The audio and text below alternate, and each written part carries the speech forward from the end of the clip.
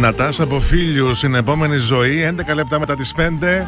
Είστε συντονισμένοι στον πολίτη 107.6 και 97.6.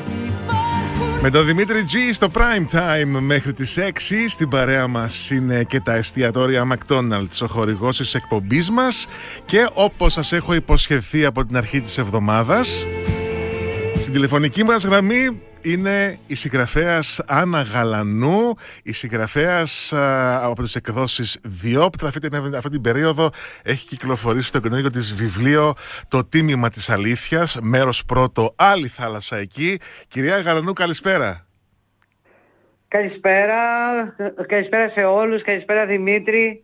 Το έχω. Ε, χαίρομαι πάρα πολύ που μιλάμε. Χαίρομαι και εγώ παρομοίως κάθε φορά με ένα καινούριο βιβλίο. Το έχω προφέρει σωστά, έτσι προφέρεται ο τίτλος. Άλλη θάλασσα Ναι. εκεί. Άλλη θάλασσα εκεί. Είναι λίγο, είναι λίγο συμβιλικός ο τίτλος. Ναι. Διαβάσει το βιβλίο, κάθε ένας έχει τη δικιά του θάλασσα μάλλον. Μμμ. Κάθε ένας από εμάς. Είναι Και γι' αλληγορική. αυτό είναι άλλη θάλασσα εκεί. Ακριβώς. Λοιπόν, έτσι είναι. Να πούμε λίγα λόγια για το βιβλίο πρώτα. Ε, Έχει τοποθετηθεί σε αρχές δεκαετίας του 50. Πρέπει να υπάρχει μια, και πάλι μια έρευνα ιστορική όσο αφορά τα γεγονότα τα οποία α, περιπλέκει το βιβλίο αυτό. Ε, σίγουρα ε, είναι η περίοδος ακριβώς αμέσως μετά το Δεύτερο Παγκόσμιο Πόλεμο και τον εμφύλιο που ακολούθησε στην Ελλάδα. Ε, οπότε μιλάμε για αρχές του 50, δηλαδή όταν ακόμα η Ελλάδα προσπαθεί να βγάλει το τζεμπέρι που λέμε ε, και να μπουσουλήσει ε, μπροστά μετά από όλα αυτά τα οποία πέρασε σχεδόν μια δεκαετία. Ε, είναι η αστικοποίηση των μεγάλων α, πόλεων, ε, είναι η, η αρχή της μετανάστευσης, ε, είναι η αστική κοινωνία των Αθηνών η οποία ε, έχει ξεπηδήσει ε, όπως πάντα γίνεται μετά από τον πόλεμο ε, οπότε αλλάζουν τζάκια, αλλάζουν ε, συνήθειες, αλλάζουν διάφορα πράγματα. Τα, είναι όλη αυτή η περιραίουσα ατμόσφαιρα. Ε, συν κάποια γεγονότα τα οποία μεσολαβούν ε, ξεκινάει, ανθίζει η ποίηση, ελευθερωποιείται δηλαδή κατά κάποιο τρόπο ελεύθερος λόγος ε, οι ποιητές μας, οι λογοτέχνες μας. Ε, μ, ε, στο βιβλίο παρακολουθούμε και το, θα τα πούμε και πιο μετά αν θέλεις ε, ε, και ε, έτσι μια α, κατά κάποιο τρόπο ε, μυθοπλασία αλλά όχι και τόσο του Νίκου Καβαδία του ποιητή ε, ο οποίος έχει μια άμεση σχέση με τον κεντρικό ήρωα του βιβλίου δηλαδή ταυτόχρονα ζούμε και τη ζωή του Νίκου Καβαδία, ε, μέσα από την οπτική τη δικιά μου. Ε, Τι είναι αυτό όμως που σας όθησε, μάλλον που σας γοήτευσε σε αυτή τη συγκεκριμένη δεκαετία και είπατε θέλω η- η- το επόμενο μου μυθιστόρημα να είναι σε αυτή την περίοδο. Γιατί σε αυτή την περίοδο; Συγγνώμη τώρα σε έχασα λίγο Λέω τι σας γοήτευσε παραπάνω σε αυτή την περίοδο, χρονική περίοδο και είπατε ότι εδώ θα πρέπει να στηριχτεί το βιβλίο και η ιστορία. Λοιπόν, ε, καταρχήν εγώ αγα- αγαπάω πάρα πολύ τον Καβαδία τον Νίκο. Ναι. Το βιβλίο είχε ξεκινήσει να γράφεται με τίτλο Φάτα Μοργάνα τη δε- το 2015. Ε, μ, για κάποιους λόγους προσωπικούς σταμάτησε να, σταμάτησα τη συνέχεια του βιβλίου. Είχα γράψει 50 σελίδες ε, στην αρχή. Ε, κάθε τι πρέπει μάλλον να οριμάσει μέσα μας και να γίνει πιο ουσιαστικό και πιο αληθές στον αναγνώστη. Έτσι λοιπόν δεν ξέρω για κάποιο λόγο σταμάτησα να το γράφω. Πέρασαν τα χρόνια και πέρυσι λοιπόν είχα δώσει στη Διόπτρα κάτι άλλο να εκδοθεί για φέτο. Ναι. Ε, σχεδόν ε, είχαμε κάνει τα προσυμβόλαια, ας πούμε, είχαμε μιλήσει, τα, τα είχαμε κανονίσει όλα. Ε, ήταν λοιπόν μια έμπνευση η οποία μου ήρθε ε, για τη συνέχεια της ιστορίας, την οποία στην ουσία την ξεκίνησα από την αρχη Είναι λοιπόν μια διλογία η οποία ξεκίνησε ως ένα βιβλίο, αλλά λόγω της έκτασης έγινε, έγιναν δύο. Τε- είναι μεγάλη ιστορία δηλαδή και είναι καθαρά βιβλίο έμπνευσης και δεν υπήρχε κάποιος λόγος ε, πέρα από το ότι κάποια στιγμή είχα σκοπό στο μυαλό μου, στην άκρη του μυαλού μου να αναφερθώ λογοτεχνικά στο ποιητή της θάλασσας και των ωκεανών, τον Μαραμπού, τον αγαπημένο μου, Μάλιστα. τον Νίκο Καβαδία. Δηλαδή Ναι. πέρα από αυτό όλο το άλλο κομμάτι ήταν θέμα έμπνευσης το οποίο ήρθε έτσι. Να μιλήσουμε, να πούμε λίγο για την ιστορία και τους χαρακτήρες. Οι κεντρικοί χαρακτήρες είναι τρεις στην ουσια Ε, είναι, η, είναι ο Διονύσης, ο οποίος ε, ε, είναι ο κεντρικός ήρωας του βιβλίου, τον οποίο θα το συναντήσουμε και στο δεύτερο βιβλίο. Ε, είναι η Βασιλική, η οποία επίσης είναι η κεντρική ηρωίδα, την οποία και αυτή θα τη συναντήσουμε στο δεύτερο βιβλίο. Και είναι και η Κατερίνα. Είναι τρεις διαφορετικοί άνθρωποι, ε, οι οποίοι έχουν διαφορετικές, όπως είπα, διαφορετικούς στόχους, ε, ε, διαφορετικό ξεκίνημα στη ζωή τους. Η Κατερίνα εκπροσωπεί την αστική τάξη, η οποία δημιουργήθηκε μετά τον πόλεμο, από έναν μπαμπά ο οποίος δεν ξέρουμε με ποιο τρόπο απέκτησε τα χρήματα τα οποία απέκτησε ε, λόγω του πολέμου, η οποία είναι ένα κοριτσάκι το οποίο είναι, ζητάω και παίρνω ας πούμε, με αυτή την έννοια, του κακομαθημένου πλουσιοκόριτσου, ε, χωρίς όμως ούτε σκέψη ιδιαίτερη, ούτε προβληματισμούς, ούτε τίποτα. Ε, είναι η Βασιλική, η οποία ξεκινάει από ένα ε, πολύ φτωχό χωριό της λαρισσας 12 ε, χρονών φεύγει από το χωριό, ε, ενώ την ετοιμάζουν για νύφη στην Αυστραλία. Εκείνη την εποχή ήταν και το... Ε, ήταν πολύ συνηθισμένο αυτό. Λοιπόν, και ξεκινάει το χωριό έχοντας σαν στόχο να γίνει ηθοποιός. Ηθοποιός του θεάτρου ετοιμάγευε από μικρή το θέατρο και ήθελε να γίνει ηθοποιός. Και ο Διονύσης, ο οποίος έχει χάσει τους γονείς του, τη μητέρα του στον πόλεμο, τον πατέρα του λίγο ε, ο οποίος είναι ένα παιδί το οποίο ε, πηγαίνει και έρχεται. Δηλαδή, στην ουσία δεν έχει κανένα προορισμό, δεν, δεν ξέρει τι θέλει από τη ζωή του. Δουλεύει από εδώ, δουλεύει από εκεί, ξέρε κλπ.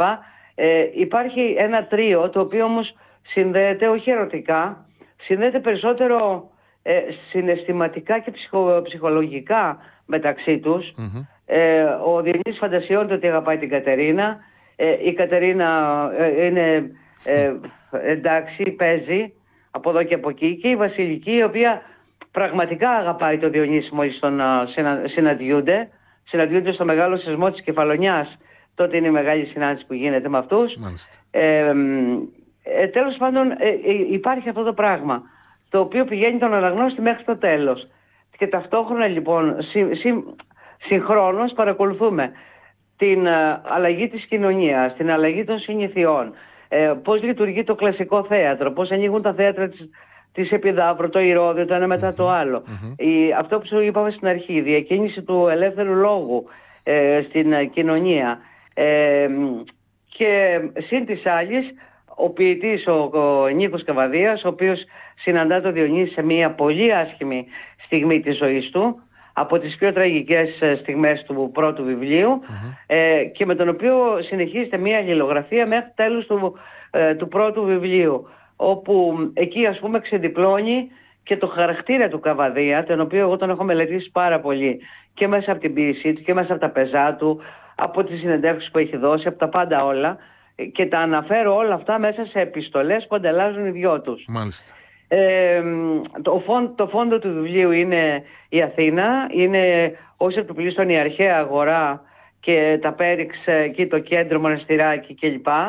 Ε, και τα θέατρα. Ε, ε, λόγω της Βασιλικής, το κλασικό θέατρο, ε, η αρχαία τραγωδία δηλαδή ως επιτοπλίστων ε, και η ποιήση του Καβαδία, όπου σε κάθε μέρος ξεκινάει και με ένα ποίημα του Καβαδία ε, το οποίο προσανατολίζει και το μέρος του βιβλίου, δηλαδή ε, κατευθύνει τον αναγνώστη τι θα διαβάσει παρακάτω ας πουμε Να πούμε ότι θα κληρώσουμε σήμερα Παρασκευή τρία αντίτυπα πρόσφορα των εκδόσεων Διόπτρα. Οι ακροατές που μας ακούνε τώρα στο ραδιόφωνο μπορούν να στείλουν το μήνυμά τους στο 1076, γράφοντας τη λέξη βιβλίο, το ονοματεπώνυμο και την πόλη τους.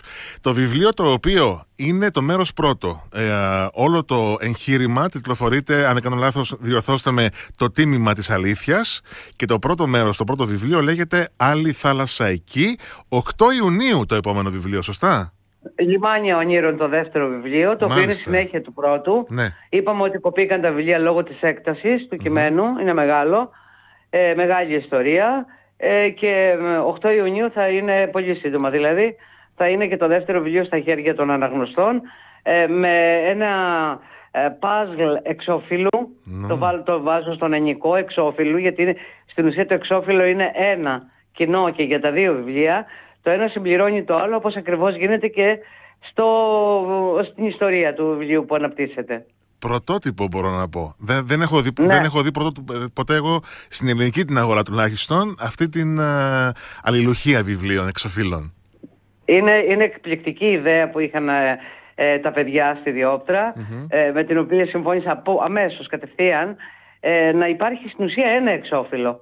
Μάλιστα. Και για τα δύο βιβλία. Ενδιαφέρον. Έχουμε βγάλει, βγάλει το μισό τώρα. τι, Ναι. γίνεται, τι γίνεται τώρα το καλοκαίρι με τις περιοδίες, τώρα που έχουν ανοίξει όλα με, τον, με τις... Ε, ε, εγώ είμαι πολύ επιφυλακτική ακόμα. ναι. Ε, δεν θέλω να ταλαιπωρήσω τον κόσμο και τον εαυτό μου. Ε, είμαι πολύ επιφυλακτική και δε- δεν ξέρω τι θα κάνω. Νομίζω ότι δεν θα κάνω περιοδία. Μμμ. Ε, θα επισκεφτώ κάποιες πόλεις σε ανοιχτούς χώρους Μάλιστα. Ε, και μ, αν πάνε όλα καλά, από το Σεπτέμβριο και είμαστε καλά, δόξα τω Θεώ, θέλω να έρθω και Κύπρο. Ωραία. Ε, έχω πάρα πολύ κόσμο εκεί πέρα που μου ζητάνε με μηνύματα πάρα πολλοί άνθρωποι και θέλω να έρθω, αλλά ε, θέλω να δω και πώς θα πάνε τα πράγματα. Νομίζω έχετε να έρθετε Κύπρο από το 16 ή το 17. Ε, δεν θυμάμαι ποιο βιβλίο είχα έρθει, είχα έρθει με τα σύννεφα. το 15 είχα έρθει. Το 15 ήταν. Είχαμε βρεθεί 2015, τότε. ναι. Ακριβώς. Ναι. Είχατε έρθει με την ε, Αλεξάνδρα μας τότε στην Κύπρο. Με την Αλεξάνδρα και ήμουν και χτυπημένη. Ναι, θυμάσαι, ναι, ναι, το θυμάμαι. Είχα το ατύχημα αυτό. Το θυμάμαι το χέρι. Ε, ναι, ναι, ναι. Ελπίζω να πάνε όλα καλά Θα με τον πάνε. κορονοϊό. Η Θα αλήθεια πάνε. είναι ότι. ε, Ελπίζω. Ε, είναι, είναι πάρα πολύ νωρίς να βάλει τον κόσμο σε μια διαδικασία τέτοια. Μμμ. Ακόμα, παρότι τα μέτρα έχουν λασκάρει. Ε, εντάξει, θα δούμε. Σίγουρα, σίγουρα. Λοιπόν, να πούμε το τίμημα της αλήθειας. Στο πρώτο μέρος τηλεφορείται άλλη θαλασσαϊκή. Η Άννα Γαλανού ήταν φυσικά στην ε, τηλεφωνική μας γραμμή με τις εκδόσεις Διόπτρα, το βιβλίο το οποίο θα κάνετε δικό σας με ένα μήνυμα SMS. Θα κάνουμε την κλήρωση σήμερα. Τρία αντίτυπα. Γράφετε τη λέξη βιβλίο, το ονοματεπώνυμο και την πόλη σας με SMS στο 1076. Κυρία Γαλανού, σας ευχαριστώ πάρα πολύ που ήσασταν σήμερα μαζί μας. Εύχομαι εγώ το ίδιο. κάθε επιτυχία με το βιβλίο και ό,τι εμφάνιση και αν κάνετε, ό,τι παρουσίαση κάνετε σε ανοιχτό χώρο, εύχομαι από καρδιάς να πάει περίφημα. Η πρόσκληση είναι για σένα προσωπική. Θα τα πούμε κιόλα. Σας ευχαριστώ θα, πάρα Θα πολύ. χαρώ πάρα πολύ να μου παρουσιάσεις ένα βιβλίο μου κάποια στιγμή. Τιμή Τα έχουμε μου. πει τόσες φορές πια. Ακριβώς. Που νομίζω ότι υπάρχει ένα επίπεδο γνωριμίας. ναι, και θα ήθελα πάρα πολύ. Να είστε πάντα καλά. Σας ευχαριστώ πολύ. Καλή Και εσύ, Δημήτρη συνέχεια. μου, και εσύ. Να είσαι καλά. Σε ευχαριστώ κι εγώ. Να είστε καλά. Γεια σας. Γεια σου, γεια, γεια, γεια.